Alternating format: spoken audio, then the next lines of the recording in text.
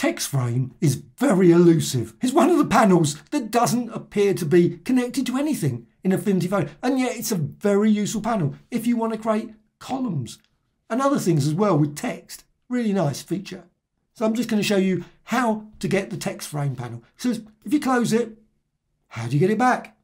And I'm just going to remove that as well. Because you could go to View, Studio, and, well, it's not there. But what you can do, just go over here, select an ellipse, or any other shape as well, ellipse tool, and create a design there. Very quick and easy vector design. And then go down to the text and the artistic text tool, select that. And then hover over there and you can see that curve there just appearing.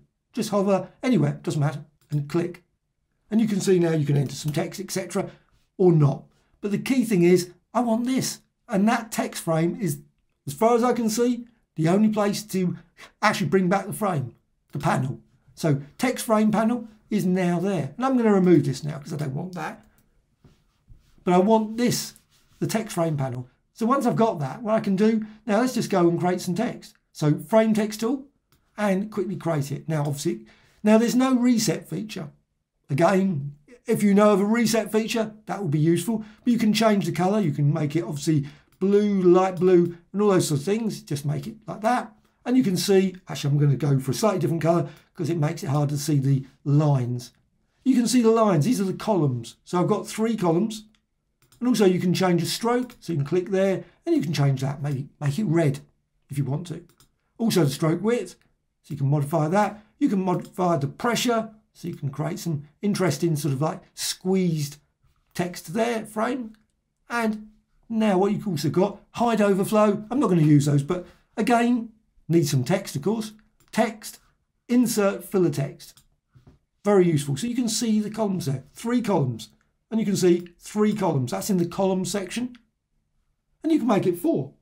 Or just go up and down, make it four, five, seven, etc. So you can just run through those and you can see as you do it. And as you do that, you will see these be added there. I don't know if there's a limit to the number of columns. Maybe there must be a limit. Otherwise it just goes for so I'm just going to go say for three so you can just see it. You can interactively change this. So just go there and you can move that there or maybe squeeze that. So if you want the, the text to be crunched up in the second column, you can do that.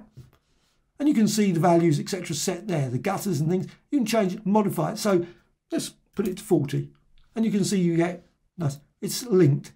That's the key thing. So you put 40 or maybe 60 or 70 and you can see then you get that. And again, you can still continue to modify this and just make it equal. Preserve width, all those sort of settings are available for this.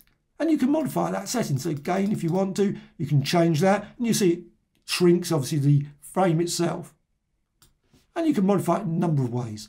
You've also got other options, which I think are really good. So you've got here column rules. So you've got columns. Of course, if you don't go for columns, you will not get the column rules.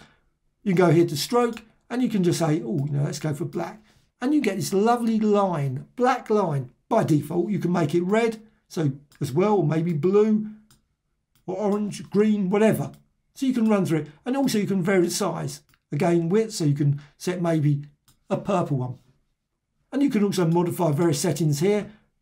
You can also, let's just push this over there, you can change the top and bottom as well. So you think, you know what, I don't want it right to the top. So right to the top, well, I can make it 20. So say 20 there. And again, go down there. Now, weirdly, that's not linked, but oh well. You can enter 20 there as well. And let's just make it a bit more obvious because that's probably not going to be so 200. Say 200. So you can see it drops down and maybe this one 100.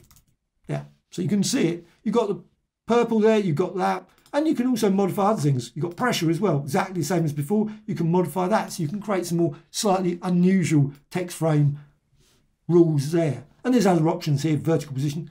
There's a lot of material on this panel that you can use, but it's very tricky to find. And the only way, like I say, I've found so far is to go via the text on a path.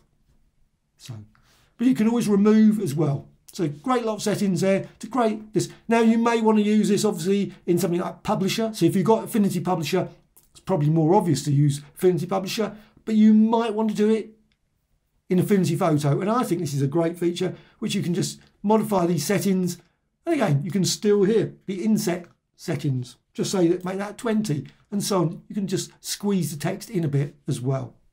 Great feature, very useful. Hope you found this of use.